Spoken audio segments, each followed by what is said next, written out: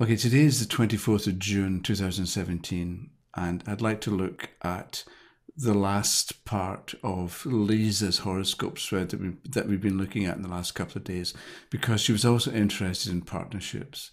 And this it's ruled by the seventh house. So um, you're probably only God's people are people and they want to know about partnerships and boyfriends and girlfriends and relationships if if you're going to do a horoscope spread, people are probably going to want to know about partnerships and what's happening with other people.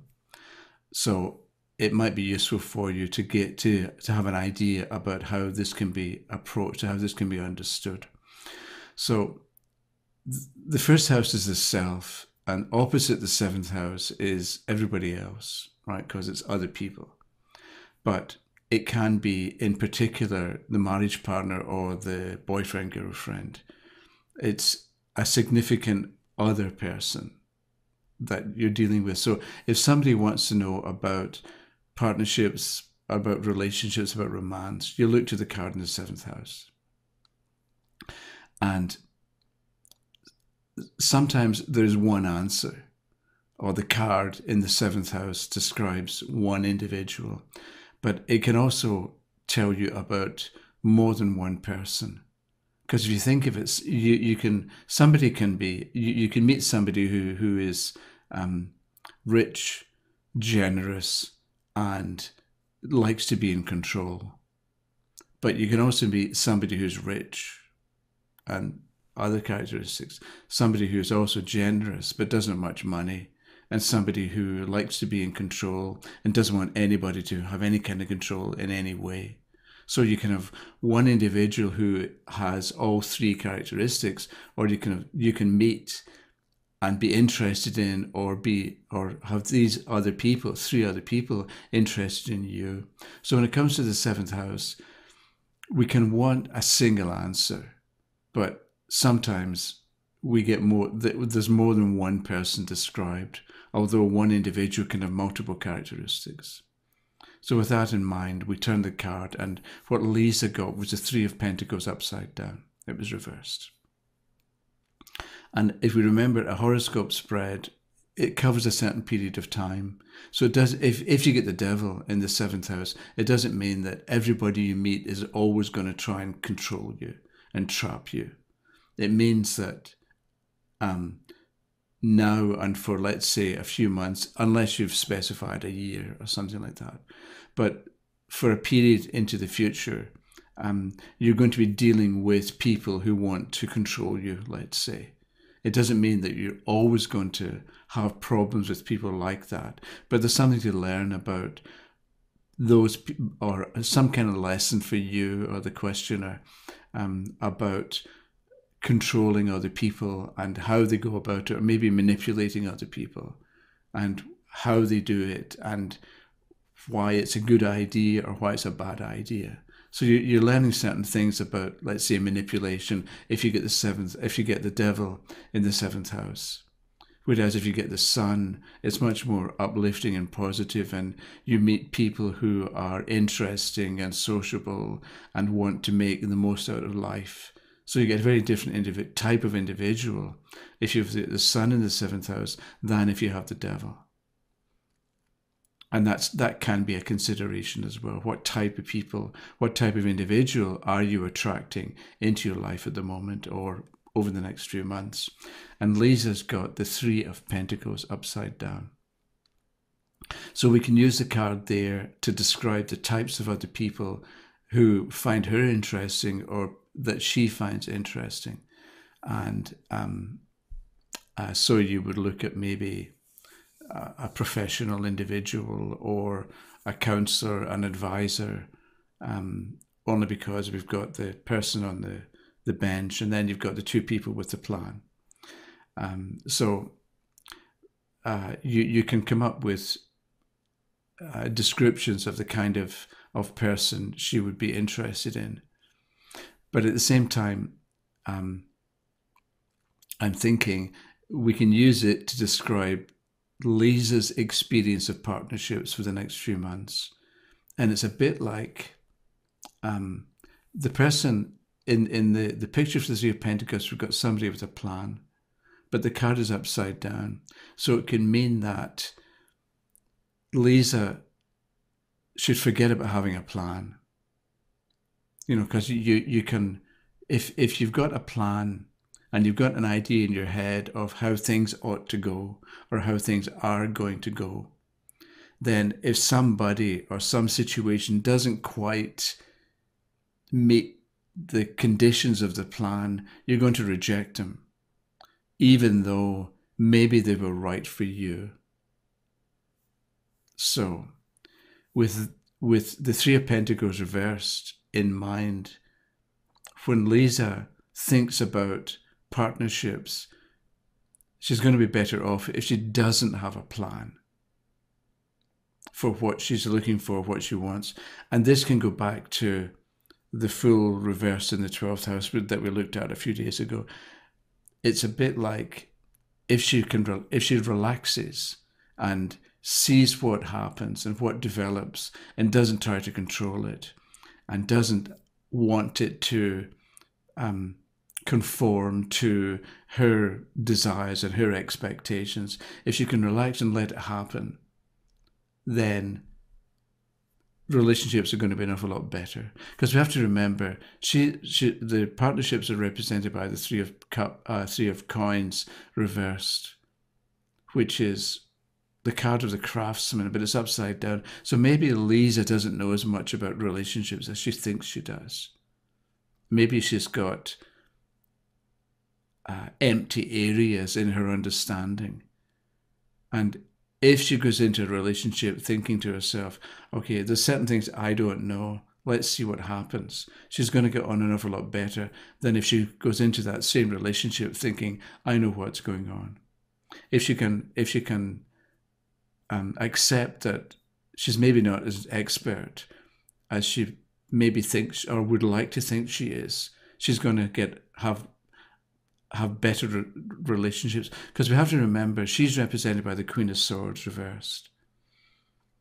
So when she or if she is critical or overly controlling in relationships and overly controlling generally, it's going to go badly or it's not going to it's not going to flow, we can say. Or she's going to introduce tension and stress and difficulty, and there's no real need for it. Um, okay, so there's that. So we can look at the seventh house to get an idea of the of partnerships for the questioner at this time. And it can be one or more people it doesn't have to be just one. Although it can, if somebody wants to know about the husband or wife, then there's probably just one husband or one wife that you're dealing with. So the card in the seventh house would describe that individual. But the other thing you can do is, if you remember, I think somewhere I mentioned that you can look at any house from the point of view of any other house. So the first is the self, the second is the value sense, the third is a communication, and the fourth is a final outcome. So we can look at Lisa's seventh house as number one. So the eighth would be two, the ninth would be three, the tenth would be the fourth. So Lisa's tenth house, which contains the Ace of Cups upright, is the fourth from the seventh. It's the final outcome of partnerships or the final outcome of current and short term future partnerships. So even though the partnerships generally are represented by the Three of Pentacles upside down, which we can say is an obstacle. The final outcome is the Ace of Cups, which is a new romance, a new beginning, a new romantic involvement. And so if Lisa goes into the relationship with no, or goes into meeting people with no plan, but wanting to to learn what she can learn about relationships, because that's going to teach her about her. And if she can be relaxed, then she meets somebody, because the Ace of Cups is the fourth from the seventh. It's the final outcome of partnerships. So with a horoscope spread, you can give like straight answers to people about yes or no, and this is going to happen or that's going to happen, or watch out for this type of individual. Um, pay attention that you don't get involved in this kind of condition or this kind of situation. And you've got this awkwardness, so deal deal with it this way, and it's not going to be as bad, and you'll learn something from it. So you, you can give answers like that, but you can also then, by considering the other cards in, and their relationship to that first house, you can give more detail. So we can sort of project into the future a bit and get an idea of how things are going to turn out. And with that in mind, if we take the 10th, because yesterday I think it was, um, we, we considered a new business or a new career for Lisa because the Ace of Cups was there. She, she can look after people and care for them. But because it was an ace, it can be time, now, now can be a good time to make a new start. So if we take the 10th house as the first, the 11th is the second, the 12th is the third, and the first is the fourth, right? So the first house where we, Lisa has the Queen of Swords reversed, is the final outcome of the 10th, which is the new business or the new career. So with the Queen of Swords reversed, it doesn't mean it's going to have a bad outcome, but it means it's reminding her or pointing out, um, don't go overboard. When when she's when she's got the new project in place and she's working at the new job or the new career or or setting things up for a new possibility. With the queen reverse in the final outcome don't take on too much in the beginning. Don't overdo it or don't think i can do everything. So if she thinks i can do everything she's going to get into trouble because the queen i can do everything as the queen but it's upside down so it's not going to she's going to discover that she can't do everything. So when she's in the early stages of the new career make sure that or pay attention to what she's actually doing and how much work she's taking on so that she doesn't spread herself too thin so that she so she has to learn to say no with the queen reversed and its sword. So understand that she can't do everything. She can ultimately do everything, but not on her own and not at the beginning. So don't get into trouble by taking on too much or assuming that um, you will be able to get it all together. You, she's better off, or the Queen of Swords reverse as the fourth from the tenth can be a warning to her to um, take it easy in the early stages and maybe understand that she's just at the beginning of something. So she hasn't got the experience yet. And even though she's got experience in certain areas of life, um, she's going to need to develop new understanding when it comes to this new career.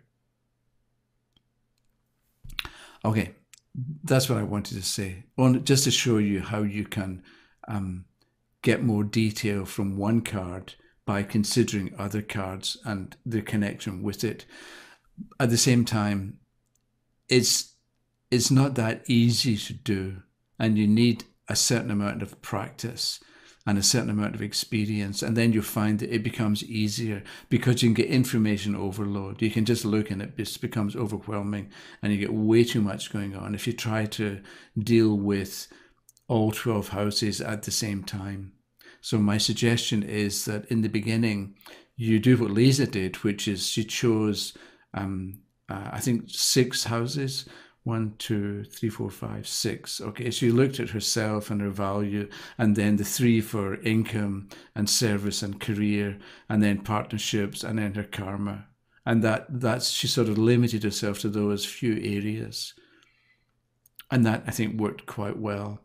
Um, so with the horoscope spread, because it's so complete, um, it's going to be more manageable and more doable if you limit yourself in the beginning and choose, let's say, three or four houses and and and become comfortable with cards in those houses and what you would do with it, or what you do with them and what it all means and how it fits together. And then once you, if you enjoy that, then continue on and maybe uh, turn more, turn the card in a bigger number of houses and see what you get from that. So it's a good spread, but it's not easy. And it takes time to get the hang of it, but it's worthwhile in the long run. Okay, that's it for the moment. I'll talk to you tomorrow about something. Okay, bye bye.